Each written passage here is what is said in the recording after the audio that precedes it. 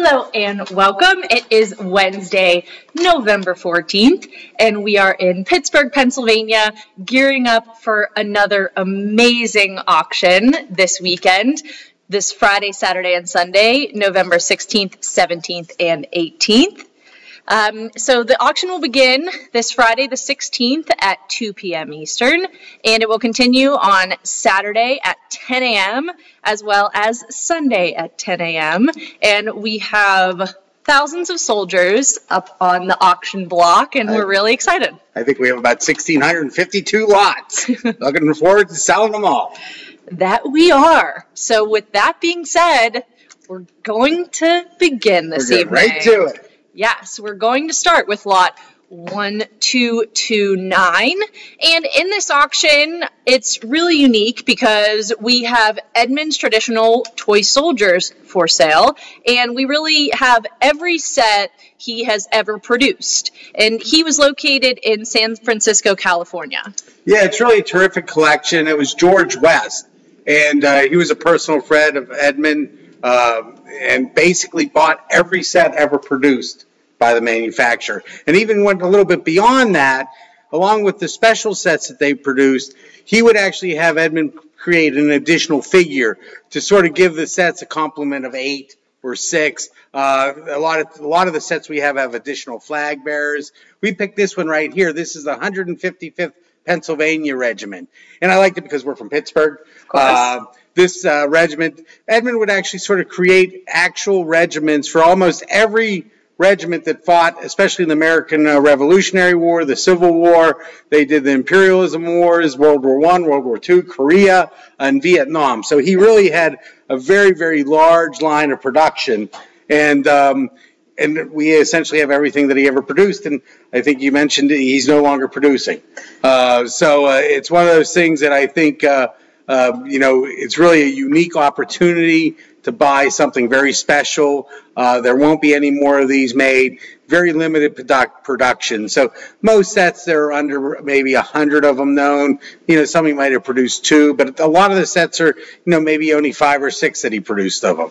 So really nice opportunity to fill in your collection. And he really is a gentleman that is admired in the toy soldier world, and he's done some amazing work. He's a wonderful artist. I mean, I really think the sets speak for themselves.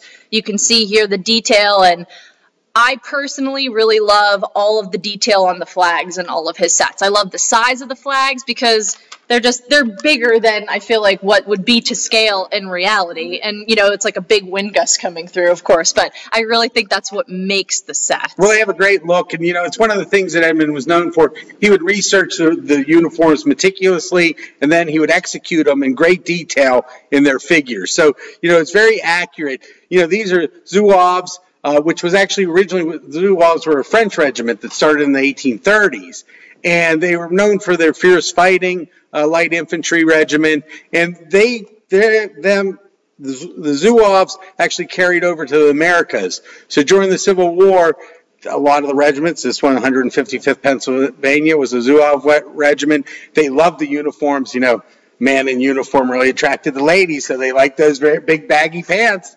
It, Yes. was, a, it was a good look for him. And in addition, all of his sets in the sale, or most of them, you know, they're in the price range of. I mean, this one, for example, is estimated at 100 or 120 dollars. So it's in that price range that, you know, They're very affordable. Yes, you know, affordable. I have a feeling a lot of these sets will sell for sixty to eighty dollars. Some might go two, three hundred, uh, but I think we have maybe 180, 200 of them. There's, Yes. There's a huge number, so I think it's a nice opportunity.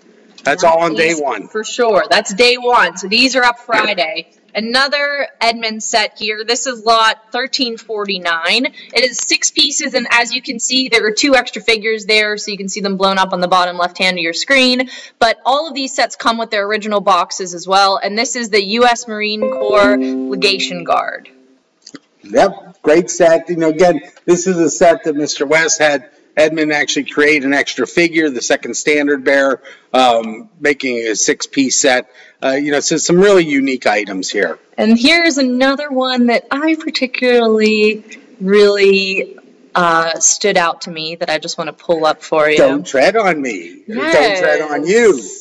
Don't tread on me. I loved this little flag, and uh, once again, I just I love it. I, I love the way that he designed and created all of these sets. They're extremely unique, and as Ray said earlier, can't harp on it enough. He's no longer producing um, them, so definite commodity. Yep. Exactly. With that being said, we're moving on to 1398. Yeah, right here we have a Blenheim uh, set. Uh, Blenheim was made by a gentleman ma- named Derek Knight. Uh, he actually uh, started production in 1978, I believe, and produced probably up until about uh, late 80s. A very high quality figure out of Wales, England. Uh, here we have, I think it's a Royal Marine uh, or a Royal West Surrey. The following lot, we have a couple additional uh, figures that can be added to the set. But again, super high quality, very affordable type of figure, and uh, you know, I just thought very appealing. It is, and this is, it's actually two sets. It's B45 and B46. So for those of you Blenheim collectors that are looking to fill in some spots in your collection, that is the set that you'd be looking for. But I just think that another great quality set, all original, original boxes, and they're great soldiers. Yeah, really are. Moving along, we've got lot 1091. It's a trophy, another Welsh manufacturer. So, Trophy of Wales. Yes, so we have some trophy, and these were actually souvenirs from the West Coaster Toy Soldier Show, for those of you that have attended that or have heard of it. Uh, it was a great show on the West Coast. You'd go out there, and every year, uh, the organizers, there was a lot of different organizers of that show, but they would actually have one of these figures made by Trophy for each year. Uh, we have two lots here. The first one starts in 1990 and I think goes up to 99. And the second one goes from 99 to 2012, right, Bre? Correct. Yes. So, and this is the second lot here. So these are lots 1091 and 1092. And I just think that this is a really charming set. I love here um, the different uniforms and hats, but really what's charming personally to me, and I think what makes it is the soldiers in their uniform up top, but they're all in um, their swim trunks on the bottom. So surfers. they're, they're California surfers, and it's it's just a really it's really neat. Whether you attended the West Coaster or you didn't, um, definite souvenir collector items. And is do we think this set's fully complete, Ray? Do you think Well, no, well, it goes from 99 to 2012. They made them last year. Okay, a little so- side note, unfortunately, this, this show's in a bit of limbo this year. Uh, we don't know if it's actually going to continue. Um, there's been a couple of organizational changes, and we're hoping that uh, we'll have something on the West Coast to go to this spring. yes? We'll keep you posted. We will keep you posted. Next, we have Lot 2040. This is the Britain's first version corporation ambulance, and it's a beautiful ambulance. Well, very rare. Uh, so now we're moving into day two, and this is called the corporation ambulance, or we call the corporate ambulance. Uh, there are three types of ambulance: the, the army ambulance, uh, the volunteer ambulance. Volunteers they would actually volunteer. Back in World War One, sort of the medical unit was important, but they were more interested in the fighting lines. So a lot of these type, of special services lacked, and they relied a lot on volunteers. And the corporate ambulance was basically an ambulance funded by corporations. A lot of times they were breweries or hardware stores that would sort of put together funds and they'd sponsor an ambulance. They'd actually have to, there really wasn't a place to sort of buy ambulances at the time. Yeah. So they would sort of buy an automobile and convert it to an ambulance and actually ship it over to Europe. And this is an example of a corporate ambulance. One of, it's actually the rarest of all the ambulances by far. And the only thing that might be a little rarer is the uh, Royal Mail van. But nice example. Doesn't have the original box. It's just a brown cardboard box. But a very, very nice example of this rare vehicle. It very much is. And next we have lot 2055, which I will pop up for you on the screen in one moment here. So here. 2055 is set number 318. It's the Royal Horse Artillery at the Halt. Uh, again, this is one of the rare of the uh, horse-drawn units right here. Uh, um, most of the units, so you have the Royal Horse or Royal Field Artilleries. Uh, this being the horse, uh, rare in the halt position. Um, the figures are actually sort of standing there. Mhm. As opposed to like the, now the next lot that we have coming up is uh, 2050. And this one, I don't know if Ray said it was circa 1929 to 1932. Yeah, peak And- caps. And it's Provenance, the Ed Ruby collection. Oh, okay. This is the one that was pictured in the Great Book of Britains. So most of you that have that book, this is the one that was in there. Yeah, That's great provenance. Yes, yes. And next here we have lot 2050. This is Britain set 1339. It's a beautiful set. Now, this is very rare. So this is the Royal Horse Artillery, same set. They're at the gallop. See how the horses are galloping here? Uh, and has the outriders with them. And most importantly, they're in steel helmets. So this is actually the conversion from the soft cap to a shrapnel proof helmet. Um, they only made this set in 1939, 1940, and maybe very early 41. So very, very rare example. Uh, probably going to be the top lot in the sale. It's close. There's a couple that'll be close to it, and you know my guess is it should end up selling around four to five thousand, sort of in that range. It's also another, it's one of those sets that just speaks for itself. I Yeah. feel like it jumps off the page um, in the photograph and the paint is, it's, it's excellent condition. Yeah, very, very nice set. You know, it's uh, you know one of the very rarest of all the horse teams. Yes, yes. And also, um, if you did not see in the catalog, there was a newspaper inside the box that was dated from 1942. So it was Mm. something that someone wrapped it in years ago, and you know, just a little Right little after it was bought, history. they put it away. That's So- that's why it stays in such nice condition. That's what makes them rare. Again, you can't stress it enough. These were toys, so this was actually something that was meant to be given to your child on Christmas or his birthday, and you know, they say go outside and play with it, and they would drag them through the mud. So it's very rare to have any of these sets survive with their boxes in that kind of condition. I agree. So one of a kind, unique, rare set, lot 2050. And next, we are moving on to our cover lot. I've lot. Um, and if you had your catalog, I should have said this earlier. Um, I hope you're following along with us as we move through the days. And we are on, this will be on day two, so this will be Saturday. And it's lot 2062. It was made by STE, and it's uh, President Kennedy's funeral. Yes. You know, a, a very, very sad day, uh, 1963, year before I was born, November.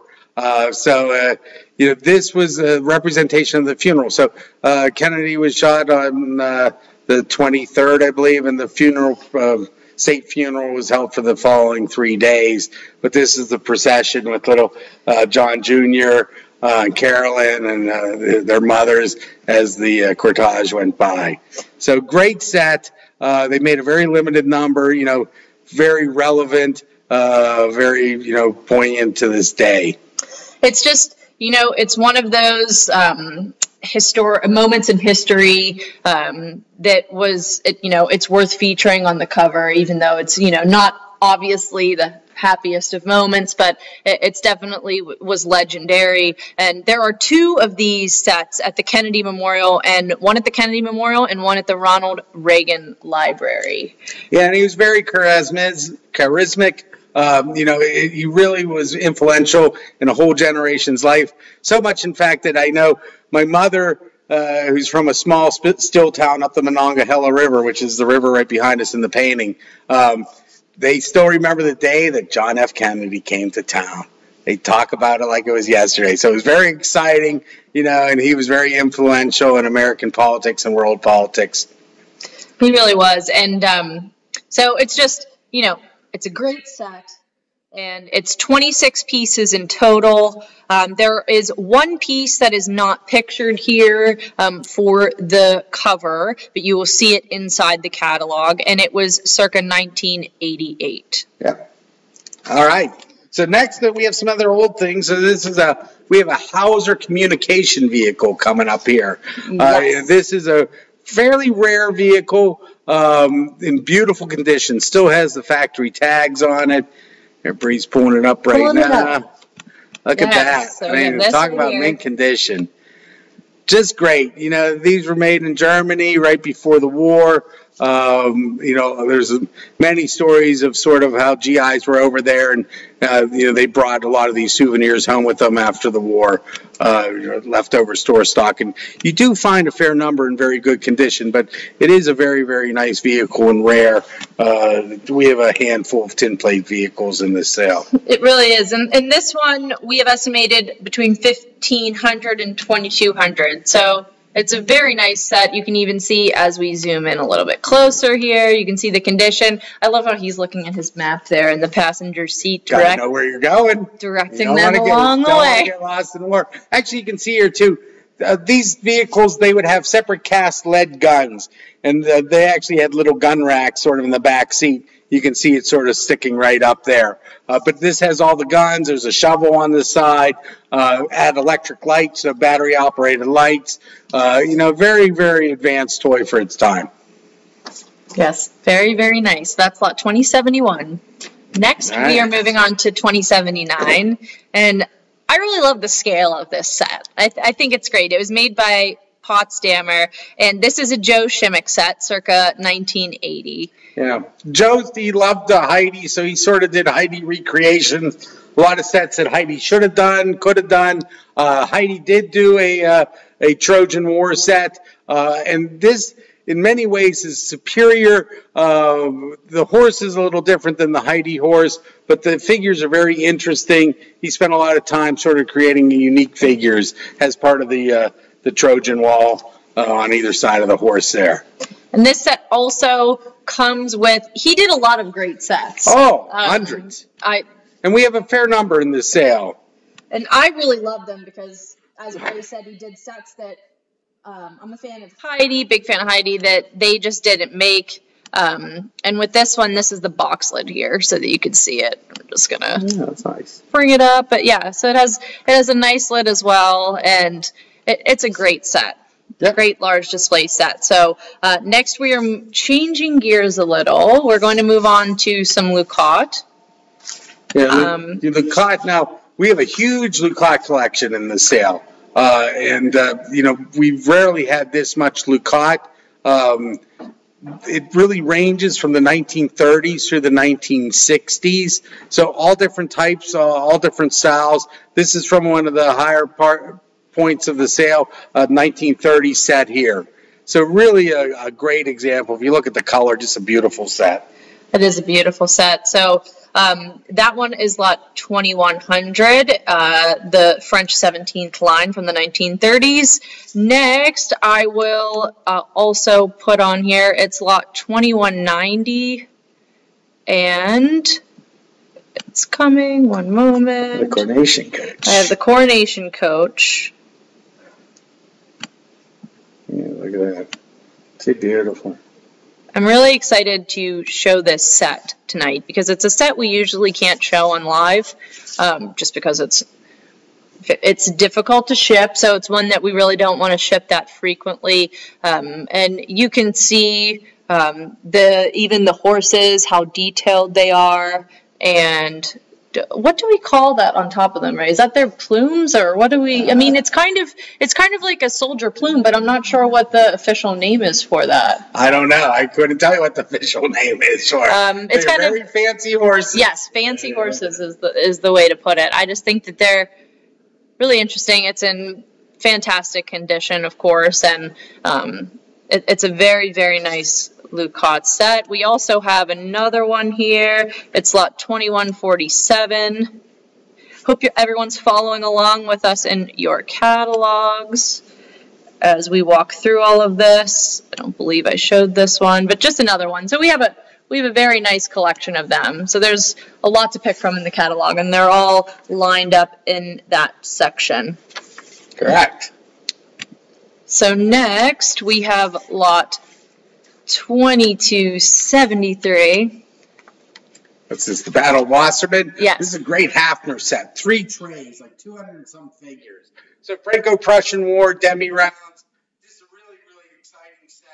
Uh, again, there's a couple duplex figures in here. You can see like Wounded carrying Yes. wounded. Up in the Uh, top left corner. Yeah, very, very nice uh, set when it comes to, you know, early demi rounds, circa 1900 on this. Yes, and it's a massive set. It has 213 pieces in total. So it's a great, great, great demi round set. Next, we have lot 2285, which is an Elastolin plastic set. And I will add that for you in a moment. Yeah, this is um, early plastic. The, uh, these have the pearlescent bases, so it's first version. Uh, here, we're pulling it up right now. So again, not the rarest of figures in this group, but just the early first versions of them. Uh, you can tell by the color of the bases. Uh, that's what we look at. Uh, they have painted flesh, uh, but some very nice, unique figures. We have a couple lots that um, you know I think should be of a lot of interest to collectors. Yeah, so you can see here the all the medieval personalities. You've got the maidens, you've got the knights, and it's an affordable set. It's estimated between 150 to 200 dollars. So um, I just think it's a great plastic Yep. for all you plastic collectors out there. There, a lot of new Britains in this sale. Yeah, so we have some King and Country, also um, some New Britains, Yeah. and love, love, love both of these sets. We've got a lot. Um, 2574 and 2575. Up in the upper left corner, we have a Britain's Circus tent, and it's set 866572. It includes the big top, as you can see in the back there. It was circa 1998.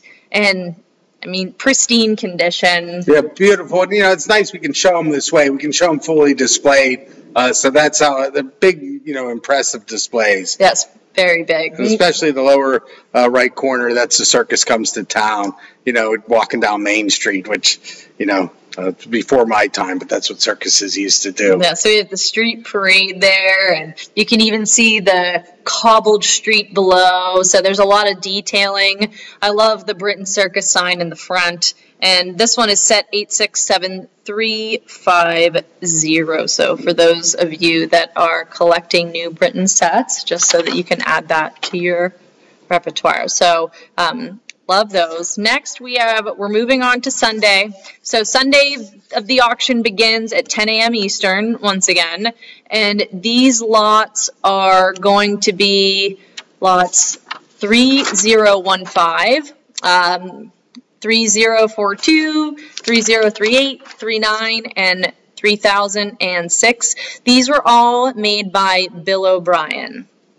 Yeah, Bill O'Brien, he would love to convert figures. He would use parts and castings from original figures and recombine them to make these really exquisite, unique type of figures. Uh, he did a whole line of military, which we have a lot of military, but you don't see a lot of his civilian too often. So there's a young gentleman proposing to his lady, and I like this one, the Falconeer.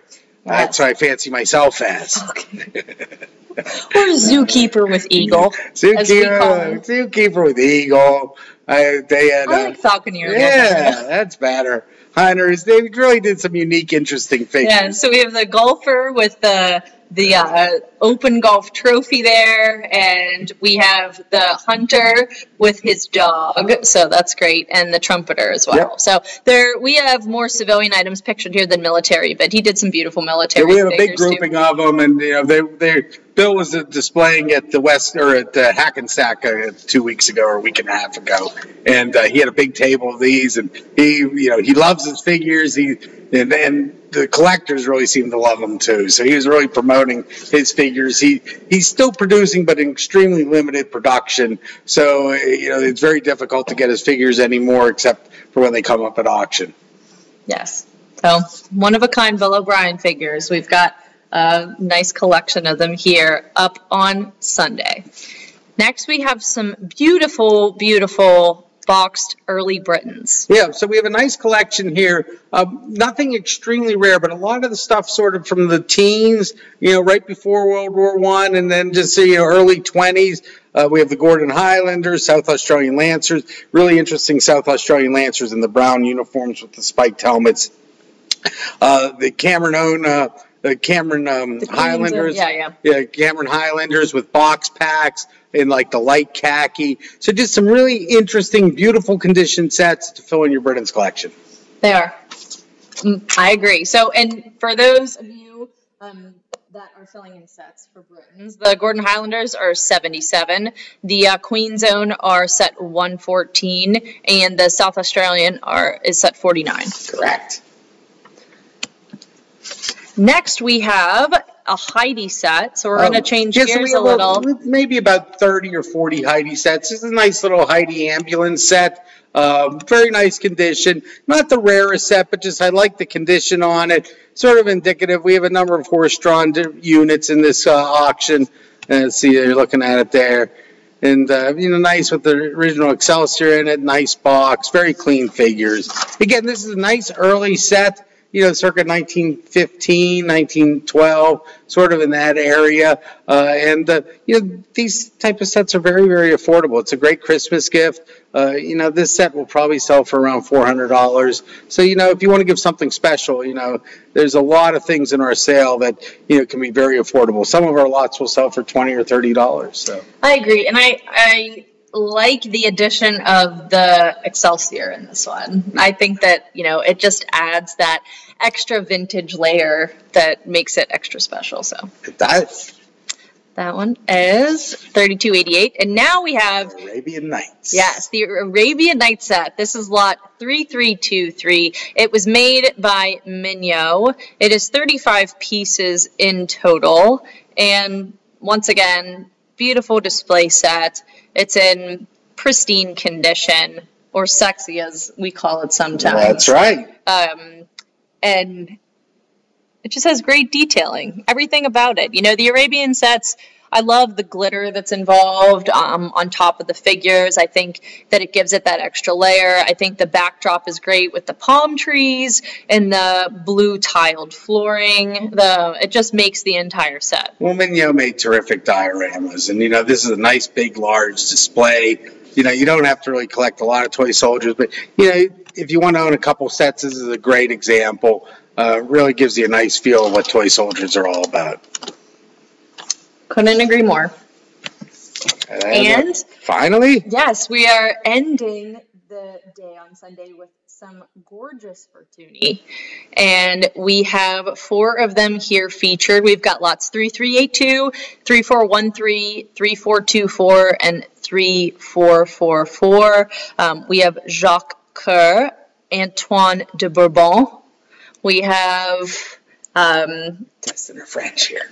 Hold on, Comtesse de Provence, and also Marie Antoinette. As as though you may know, she was the Queen of France um, for quite a period of time. So these are Virginia. They're in great condition, all single figures. Um, Yeah, this actually came from a collector from Pittsburgh. His name was Jim Merck. Uh, we were lucky enough to be selling his estate. He passed away, but he had one of the top, you know, three, maybe even top two collections of Vertunni in the world. Uh, probably about 400 figures in total. Uh, this is we have about 80 in this this sale. The rest will be sold most likely all next year, although some might even go into 2020. Beautiful condition, extremely rare figures all across the board. So, uh, yes, participate in this sale and look forward to our sales all next year if you're a Vertunni guy or girl. That is for sure. And that's all we had to show today. So hope you were able to follow along with us with your catalog. We really had a great time. That was very good. Hope you enjoyed it. Our uh, auction, The Soldiers Fall in Line, once again begins this Friday at 2 p.m. Eastern. So it'll be Friday, Saturday, and Sunday. It's a three day event. So we are still accepting bids. You can jump on our website, oldtoysoldierauctions.com, and check that out. You can also call us 412 343 8733 or fax bids. It's too late for snail mail, but uh, just call us and uh, we'll make sure to execute your bids Your for you. in. The next Old Toy Soldier magazine is coming out next week, so it's printed. It's going to be in the mail shortly, so look out for that. It's another great issue. And our next Old Toy Soldier auction after this weekend, we are following up with December 9th. We have the Charles S. McCowan Jr. collection. Very excited about that one as well. Not going to reveal too much because we have this one coming up this weekend, but look out for that. That'll be December 9th. And then December 8th is going to be our next Cyber Toy auction. So we have over 750 lots for that sale. Great sale, tons of mechanical and steel banks. We have tin toys. We have wind up toys. We have some newer items. We have Star Wars. We have a wonderful robot collection, which is very exciting. And uh, we have some modern cars in there. So check that catalog out. It's up on Live Auctioneers right now. Just search Cyber Toy Auctions. Also, look out for our winter catalog that we produce once a year. Everything's for retail sale. It's the Ray Toys Toys of Yesteryear catalog. It'll be coming out in January. And if you would like one, please call, email us, or fax or snail mail. We'll send you one. So just let us know. And that's coming out. And we have a lot of announcements. I'm sorry, it's long winded. um, we have a new Adventures with Ray and Bre that we filmed in New Orleans uh, that will be the next RSL auction coming up in March 2019. So if you don't follow us on YouTube, you should. You should subscribe to Ray and Bre Live, R A Y and B R E live on YouTube. That one will be next week. It'll definitely be before Thanksgiving. It's a great episode. Thanks for watching, everybody. We really appreciate it, and happy bidding this weekend. Have a good time.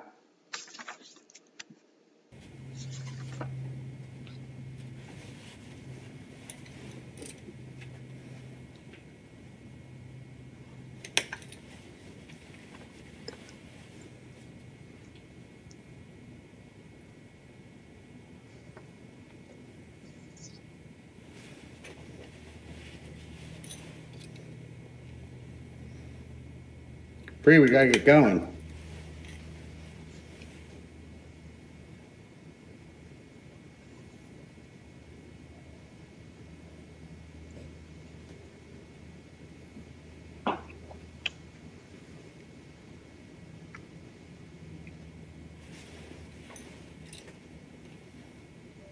Bre, it's time.